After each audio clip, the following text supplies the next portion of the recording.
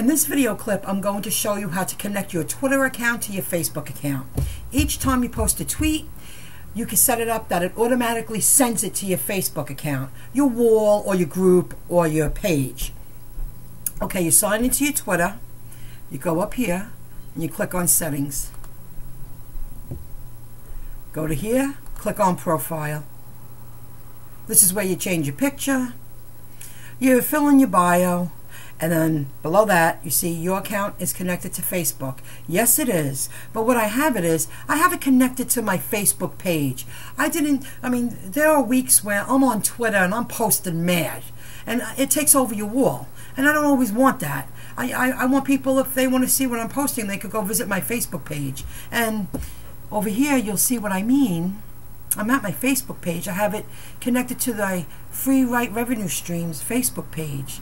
And here are my tweets. Twitter, Twitter, Twitter. And that's pretty cool. That's that's the way to go. Anything that gets posted to my Twitter from other websites and and it's sent to my Twitter, then Twitter sends it to my Facebook page.